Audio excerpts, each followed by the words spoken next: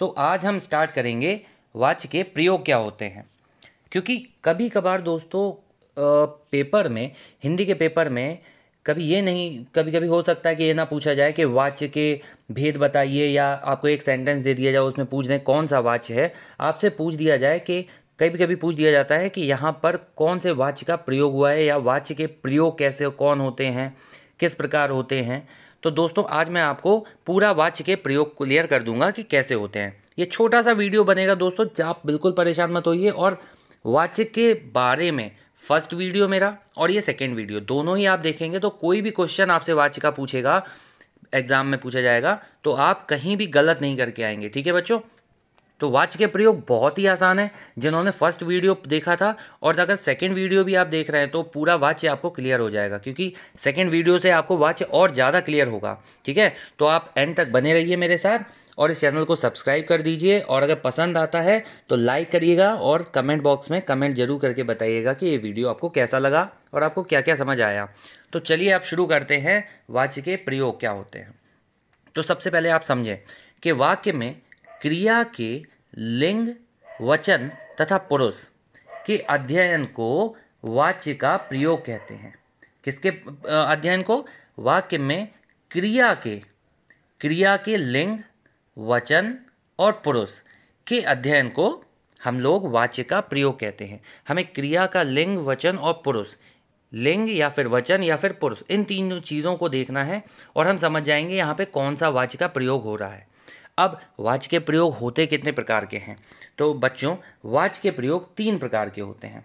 अब आप देखें, कितने प्रकार के होते हैं? कभी कभी क्वेश्चन पूछ दिया जाता है कि वाच्य के प्रयोग कितने प्रकार के होते हैं? तो ऑप्शन में दे दिया जाएगा एक, दो, तीन या चार। तो आपको सही आंसर वहाँ देना होगा बच्चों, तीन प्रकार के। क्योंकि कभी एग्ज़ाम में पूछा जाए और तो आपको नहीं पता होगा तो आप निश्चित गलत करके आएँगे। तो तीन प्रकार के वाच्य प्रयोग होते हैं। अब कौन कौन से प्रयोग होते हैं वाच्य के बच्चों? तो जल्दी से देख लीजिए। फ़र्स्ट होता है, पहला वाच्य प्रयोग होता है कर्तरी प्रयोग।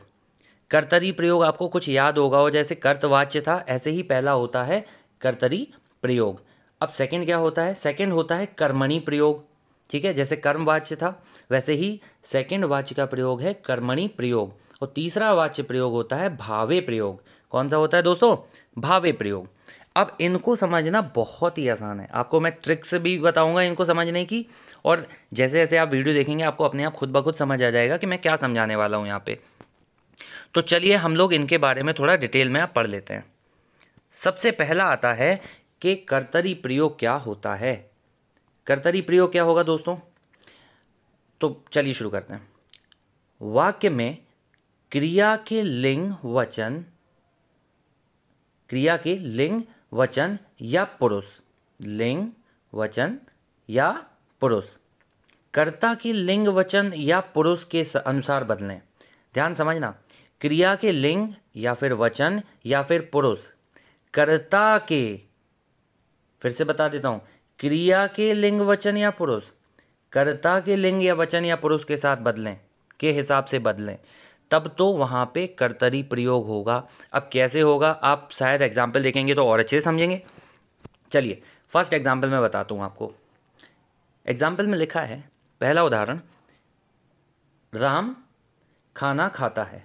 अब ध्यान से देखिएगा, क्रिया क्या है? खाता। अब यहाँ देखें, क्रिया कैसी है? पुल्लिंग। कैसी है? पुल्लिंग। कर्ता क्या है? कर्ता कैसा है? वो भी पुल्लिंग। कर्ता राम पुल्लिंग। क्रिया खाता पुल्लिंग। क्रिया एक वचन, कर्ता भी एक वचन। समझ में आ रहा है आपको? क्रिया को देखेंगे, ये पुल्लिंग है और एक वचन है। कर्ता भी देखेंगे आप, ये राम। पुल्लिंग है और एक वचन है। जब क्रिया कर्ता के हिसाब से चल रही है जो क्रिया का लिंग वचन और पुरुष है, वही कर्ता का लिंग वचन और पुरुष है तो ये प्रयोग यहाँ पे कौन सा वाच्य का प्रयोग होगा? यहाँ पे कर्तरी प्रयोग होगा। दूसरा एग्ज़ाम्पल देखें, ये तो और अच्छा है इंटरेस्टिंग है, कि कमला घर जाती है। अब देखिए, क्रिया देखिए यहाँ पे, जाती है। यहाँ पे आपको ये कौन सा यहाँ पे लिंग दिख रहा है? स्त्रीलिंग कौन सा है बच्चों? स्त्रीलिंग बच्चों, आप ध्यान से समझिएगा जाति जाति देख के ही आप समझ जाएँगे कि ये स्त्रीलिंग है। अब यहाँ कर्ता देखिए। कर्ता में लिखा है कमला। कमला भी किसी लड़की का नाम है। अब लड़के का नाम तो हो नहीं सकता तो इसीलिए कमला भी हम क्या बोलेंगे कि ये भी स्त्रीलिंग है। ठीक? अब क्रिया स्त्रीलिंग और कर्ता भी स्त्रीलिंग। तो जब दोनों मैच कर रहे हैं तो आपका ये कौन सा यहाँ पे प्रयोग है? कर्तरी प्रयोग। आप यहाँ गौर से देखना, मैं इन सबको हटा देता हूँ। आप सिर्फ़ यहाँ पे कर्म को देखिए। इस वाक्य में कर्म है घर। घर किसमें आता है? घर आता है आपका। मान लो आप कुछ नहीं कहते तो घर आप इसको पुल्लिंग की तरह, जैसे घर है, यहाँ पे ये घर बहुत बड़ा है। हम ये तो नहीं कहते कि ये घर बहुत बड़ी है, ठीक? तो हम घर को पुल्लिंग में काउंट कर सकते हैं। तो घर अगर पुल्लिंग है, कर्ता अपना स्त्रीलिंग है, और क्रिया कैसी है? क्रिया भी तो देख लीजिए कैसी है। क्रिया अपनी स्त्रीलिंग है। स्त्रीलिंग स्त्रीलिंग, और ये घर क्या है? पुल्लिंग।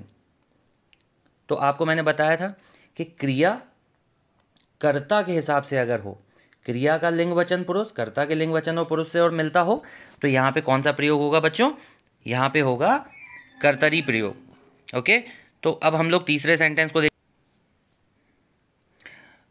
तो चलिए बच्चों, हम लोग अब थर्ड एग्ज़ाम्पल देखते हैं। थर्ड एग्ज़ाम्पल क्या लिखा हुआ है? जल्दी से देखेंगे। थर्ड एग्ज़ाम्पल में लिखा हुआ है कि लड़कियाँ पुस्तकें पढ़ेंगी। ठीक, ये रहा आपका थर्ड एग्ज़ाम्पल अब यहाँ पे आप देखिए, क्रिया क्रिया कैसी है? स्त्रीलिंग, ओके? कर्ता कैसा है? स्त्रीलिंग। क्रिया कैसी है? आपका बहुवचन। बहुवचन।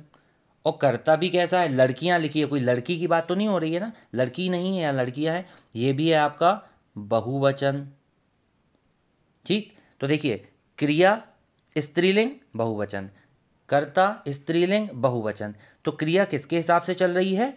कर्ता के हिसाब से चल रही है। तो जब क्रिया कर्ता के हिसाब से चलती है, यानी क्रिया का लिंग, वचन या पुरुष कर्ता के लिंग, वचन या पुरुष से मिलता है तो यहाँ कौन सा प्रयोग होगा? तो आप देखते ही ठोक देंगे कि यहाँ पे कर्तरी प्रयोग होगा।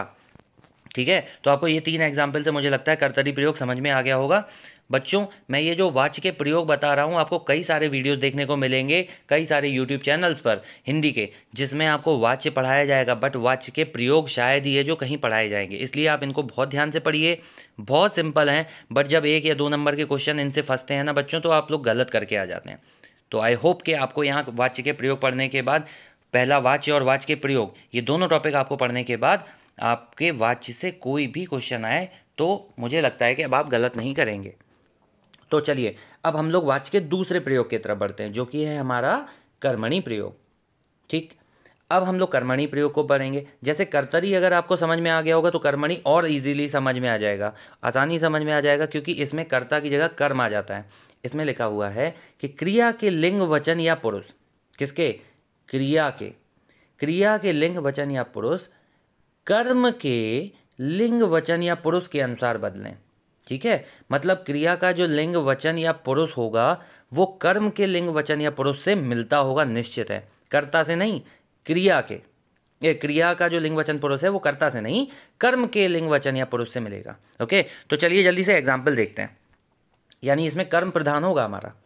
चलिए एग्ज़ाम्पल में लिखा है फ़र्स्ट सौरभ ने पुस्तक लिखी। ठीक है बच्चों? अब आप लोग यहाँ क्रिया देखें, क्या है? लिखी। क्रिया कैसी है? स्त्रीलिंग। एस बना दिया मैंने स्त्रीलिंग को, ठीक है? अब यहाँ पे आप कर्म ना देख के आप सीधे देखें कर्ता। कर्ता लिखा है सौरभ, जो कि है एक पुल्लिंग। पुल्लिंग को मैंने पी बना दिया, ठीक? तो यहाँ क्रिया आपके कर्ता के हिसाब से तो नहीं आ रही, फिर किस हिसाब से आ रही है? क्रिया थी स्त्रीलिंग। अब आप कर्म पे देखें। कर्म है पुस्तक पुस्तक भी हमारा है स्त्रीलिंग, ओके? क्रिया था लिखी जो लिखा था, ये स्त्रीलिंग के साथ साथ एक वचन भी था। और कर्म जो है, वो स्त्रीलिंग के साथ एक वचन है। तो यहाँ हम क्या बोलेंगे कि जो लिखी आया था, वो पुस्तक के हिसाब से आया था, यानी लिखी था क्रिया, पुस्तक थी कर्म। तो हमारा यहाँ पे क्रिया, स्त्रीलिंग एक वचन और कर्म भी स्त्रीलिंग एक वचन था। चलिए, अब तो यहाँ पे वाच का कौन सा प्रयोग होगा लागू बेटा?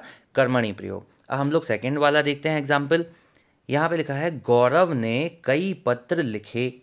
ठीक है? अब गौरव ने कई पत्र लिखे। इसका मतलब है, सबसे पहले यहाँ क्रिया देखिए, आप क्या लिखा है? लिखे। ओके? और लिखे कैसा है? जल्दी से दोस्तों बताइए, लिखे कैसा है? बहुवचन। कैसा है? बहुवचन। ओके? अब यहाँ कर्ता को देख लो। मैं साथ साथ आपको यहाँ पे दिखवाता भी जाऊँगा कि यहाँ कर्तवाच हो कर्तरी प्रयोग हो सकता है या नहीं हो सकता। अब आप यहाँ पे क्रिया देखिए। लिखे जो कि बहुवचन, कर्ता देखिए गौरव, जो कि है आपका एक वचन। ठीक है? पुल्लिंग भी है और एक वचन भी है। ओके? अब तो ये कर्तरी तो हो नहीं सकता। अब इसको कर्मणी के हिसाब से हम चेक करते हैं। क्रिया लिखी थी लिखे, जो कि थी बहुवचन। अब, देखिए यहाँ पे क्या लिखा है? कर्म में लिखा है कई पत्र।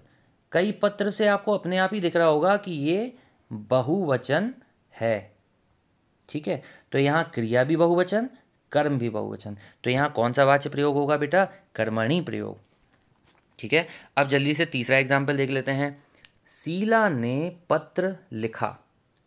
अब गौर से आओ, क्रिया लिखा है, लिखा, जो कि है पुल्लिंग, एक वचन। ठीक है?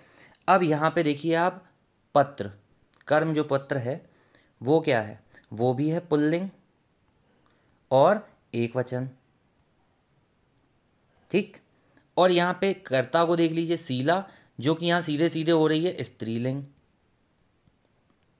ठीक? तो आप क्या बोलेंगे? देखिए, क्रिया है लिखा, जो कि थी पुल्लिंग एक वचन, कर्म है पत्र, वो भी पुल्लिंग एक वचन, और कर्ता है सीला, जो कि है स्त्रीलिंग। इसका हम वचन से क्या लेने दें? स्त्रीलिंग एक वचन भी हो जाता है, स्त्रीलिंग के साथ सीला जो है स्त्रीलिंग और एक वचन दोनों होता, तब भी वो कर्तरी प्रयोग तो हो नहीं सकता इस सेंटेंस में, क्योंकि हमारी इस वाक्य में जो क्रिया है, लिखा, वो किसके हिसाब से आ रही है? पत्र के हिसाब से, कर्म के हिसाब से।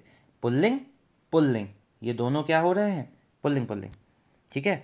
अब चलिए, चौथा वाला एक एग्ज़ाम्पल और देख लें, शायद आपको कर्मणी प्रयोग पूरा ही समझ में आ जाएगा। अब फिर से वही है। एग्ज़ाम्पल में हमारा मोहन ने मिठाई खाई तो यहाँ खाई, स्त्रीलिंग, मिठाई। स्त्रीलिंग, वचन देखने की भी ज़रूरत नहीं। मोहन यानी कर्ता, पुल्लिंग। तो यहाँ पे क्रिया कर्म के हिसाब से आई है, ना कि कर्ता के हिसाब से, ठीक है? तो यहाँ भी वाच्य में कर्मणि प्रयोग होगा, ओके? तो आपको अगर कर्तरी और कर्मणि प्रयोग समझ में आ गए होंगे, चलो मैं एग्ज़ाम दो मिनट में समझा देता हूँ, यहीं से आप समझ लो। कर्तरी प्रयोग क्या होता है? जब वाक्य में क्रिया के लिंग, वचन या पुरुष कर्ता के हिसाब से आए, ठीक है? वाक्य में क्रिया के लिंग, वचन या पुरुष, कर्ता के लिंग, वचन या पुरुष के हिसाब से आए तो होगा कर्तरी प्रयोग। कर्मणि क्या होगा? क्रिया के लिंग, वचन या पुरुष, कर्म के लिंग, वचन या पुरुष के हिसाब से आए। कर्मणि प्रयोग। बट थर्ड वाला जो है हमारा, भावे प्रयोग। भावे प्रयोग क्या है? ये देखिए, यहाँ पे गलत लिखा हुआ है। यहाँ पे होना चाहिए था भावे। ठीक है, ये वाला हो जाता है सीधे सीधे। भावे। तो भावे में क्या होता है? यहाँ पे क्रिया के लिंग, वचन या पुरुष कर्ता या कर्म के हिसाब से नहीं होते। कर्ता या कर्म के हिसाब से नहीं होते। ठीक है? फिर किसके हिसाब से होते हैं बच्चों? तो चलिए दोस्तों, एक बार फिर से हम भाव्य प्रयोग पढ़ लेते हैं कैसे होता है। बहुत सिंपल है। तो भाव्य प्रयोग में क्या होता है? क्रिया के लिंग वचन या पुरुष कर्ता के और कर्म के लिंग वचन या पुरुष के हिसाब से नहीं होते हैं। ठीक है? यहाँ कुछ अलग ही काम चलता है। बहुत सिंपल सा है। आप समझो। क्रिया के क्रिया के लिंग वचन या पुरुष? कर्ता या कर्म के हिसाब से ना होकर एक वचन, पुल्लिंग तथा अन्य पुरुष होते हैं। कैसे होते हैं? सीधे सीधे आपको बता देता हूँ। क्रिया के लिंग वचन या पुरुष, एक वचन होते हैं, पुल्लिंग होते हैं और अन्य पुरुष होते हैं। ठीक है? यहाँ वचन, लिंग और पुरुष, तीनों जो हैं क्रिया के वो एक वचन होंगे, पुल्लिंग होंगे और अन्य पुरुष होंगे। अब आप समझ लीजिए एग्ज़ाम्पल से, कैसे होंगे? यानी यहाँ पे क्रिया के लिंग वचन पुरुष कर्ता या कर्म के हिसाब से नहीं होंगे। कर्ता और कर्म से कुछ लेना देना नहीं, बिल्कुल भी लेना देना नहीं। वो तो सिर्फ़, आप समझ लीजिएगा क्या होंगे? एक वचन, पुल्लिंग या अन्य पुरुष होंगे, ठीक है? चलिए, अब हम लोग पहला एग्ज़ाम्पल पढ़ते हैं। फ़र्स्ट वाला, अनीता ने बेल को सींचा। अब अनीता, देख लो यहाँ पहले, सबसे पहले हम लोग क्रिया देखते हैं। क्रिया क्या है? एक वचन। ठीक? अनीता कैसा है? स्त्रीलिंग, ऐस लिख देता हूँ मैं। बेल, स्त्रीलिंग। सींचा, जो क्रिया है, वो है आपका पुल्लिंग। ठीक है? फिर से देखो। अगर आप ये एग्ज़ाम्पल अच्छे समझ गए, बेटा एग्ज़ाम्पल ही होते हैं किसी भी टॉपिक को समझने का सबसे अच्छा तरीका। अगर आप एग्ज़ाम्पल समझ गए तो सब कुछ समझ गए। यहाँ एग्ज़ाम्पल क्या था? अनीता ने बेल को सींचा। फिर से मैं पढ़ा दे रहा हूँ, आप कन्फ्यूज़ मत होइएगा। क्रिया लिखिए सींचा, जो कि है आपकी पुल्लिंग एक वचन तो है ही, सबको पता है, और पुल्लिंग भी है। ठीक है? बेल, जो कि कर्म है, वो है स्त्रीलिंग। अनीता जो करता है, वो भी है स्त्रीलिंग। अब देखो, यहाँ पे क्रिया जो है, वो पुल्लिंग है। ना तो ये कर्म से मिल रही है, ना ही ये कर्ता से मिल रही है। जो कि मैंने आपको बताया था कि क्रिया के लिंग वचन पुरुष किसके, कैसे होते हैं? वो एक वचन होते हैं, पुल्लिंग होते हैं और अन्य पुरुष होते हैं। ठीक? तो यहाँ पे ये कैसा है? आपका पुल्लिंग भी है सींचा, यानी क्रिया आपकी पुल्लिंग भी है और एक वचन भी है। और जबकि कर्ता और कर्म दोनों ही स्त्रीलिंग थे। ठीक है? सेकेंड एग्ज़ाम्पल भी समझ लीजिए। क्या लिखा हुआ है? कि लड़कों ने पत्रों को देखा। अब मैंने आपके लिए यहाँ पहले से लिख रखा है। लड़कों ने पत्रों को देखा, क्रिया है देखा, जो कि है एक वचन। कर्म पत्रों, जो कि है बहुवचन। करता है लड़कों, ये भी है बहुवचन। क्रिया आपकी, देखो, कर्ता और कर्म दोनों ही आपके बहुवचन हैं, लेकिन क्रिया आपकी कैसी है? एक वचन। ठीक? तो यहाँ पे कौन सा प्रयोग होगा? वाच का जल्दी से ठोक दो बच्चों। आंसर देखते ही क्या ठोकोगे आप? भाव्य प्रयोग। भाव्य प्रयोग। ओके। सो लास्ट वाला क्या एग्ज़ाम्पल है? जल्दी से उसको भी हम लोग गौर से देखेंगे। लास्ट में लिखा है, लड़कियों ने पुस्तकों को पढ़ा है। अब क्रिया, कर्म, कर्ता। क्रिया कैसी होनी चाहिए थी? एक वचन जो कि है। कर्म कैसा है? बहुवचन, ये लिखा हुआ है। और कर्ता कैसा है? ये भी है बहुवचन, ये लिखा है। क्रिया कैसी है? ना तो ये कर्म के हिसाब से आ रही ना ही आपकी कर्ता के हिसाब से आ रही तो जब ना ये कर्म, जब वाक्य में क्रिया ना ही कर्म के हिसाब से आए, ना ही कर्ता के हिसाब से आए, वो अपने हिसाब से चले और अपने हिसाब से भी चलेगी तो कैसी चलेगी? सिर्फ़ एक वचन, पुल्लिंग या अन्य पुरुष। ठीक है? वो बहुवचन नहीं हो सकती कभी क्रिया, स्त्रीलिंग नहीं हो सकती। ठीक है? और अगर जब ऐसा होगा वाच्य में तो हम उसको क्या बोलेंगे? वाच्य में कौन सा प्रयोग है? भावे प्रयोग। इसको मैं सही से लिख ही देता हूँ, बच्चा, बच्चों, वरना आप कंफ्यूज हो गए भावे प्रयोग। ओके? तो मुझे लगता है कि अब आप लोगों को वाच्य के प्रयोग अच्छे से आ गए होंगे। तो वाच्य के जो प्रयोग थे, अगर आपको यहाँ पे ये टॉपिक वाच के प्रयोग आज मैंने स्टार्ट किया था, अगर आपको बच्चों ये वीडियो समझ आया है, आपको कुछ भी यहाँ समझ आया है, पसंद आया हो इस वीडियो में तो आप ज़रूर इसको लाइक करिएगा कमेंट बॉक्स में कमेंट करके भी आप रिव्यूज़ दीजिए अपने और अपने दोस्तों को भी समझाइए। क्योंकि अगर वाच्य के प्रयोग और वाच्य, जो पहले मैंने पढ़ाया था, वाच्य कैसे होते हैं, कितने प्रकार के होते हैं और उनके क्या भेद होते हैं, वाच्य के प्रयोग क्या होते हैं, वाच्य प्रयोग के आधार पर कितने प्रकार का होता है, तीन प्रकार का होता है, जैसे मैंने बताया था, सामने लिखा भी हुआ है। और वाक्य दे देंगे, उसमें पूछ देंगे कौन सा वाच्य है या यहाँ पे वाच्य का कौन सा प्रयोग है। तो आई थिंक आप देखते ही, आप दोनों वीडियोस को देख के फ़र्स्ट पार्ट और सेकंड पार्ट देख के आप समझ जाएँगे। ठीक है बच्चों? तो अब मैं अगला जो टॉपिक लेके आऊँगा आई थिंक तो वो आपके लिए लिंग वाला लेके आऊँगा कि कौन सा लिंग स्त्रीलिंग और पुल्लिंग, दोनों को आप देखते ही चुटकियों में कैसे सॉल्व करते हैं, कैसे पकड़ेंगे कि यहाँ पे ये शब्द स्त्रीलिंग में है या पुल्लिंग वाला है। बहुत अच्छी ट्रिक्स के साथ मैं आपको पढ़ा दूँगा। तब तक के लिए अब आप इस वीडियो के साथ बने रहिए और सब्सक्राइब ज़रूर करिए और अपने दोस्तों को भी शेयर करना ना भूलें ये वीडियो, ओके? अगर आपको समझ आया है तो मुझे लगता है कि आपको ये भी करना चाहिए कि आपके जान पहचान वालों को भी समझ में आए जो आपके साथ जुड़े हुए हैं, हिंदी पढ़ रहे हैं, जो नेक्स्ट एग्ज़ाम देने वाले हैं, उनको भी समझ में आ जाए। इसीलिए ज़्यादा से ज़्यादा शेयर करना ना भूलें, ओके? तो मैं, आपका दोस्त, आपका टीचर प्रतीक द्विवेदी अब आपसे विदा लेता हूँ। नेक्स्ट वीडियो में हम लोग मिलते हैं, तब तक के लिए गुड बाय बच्चों।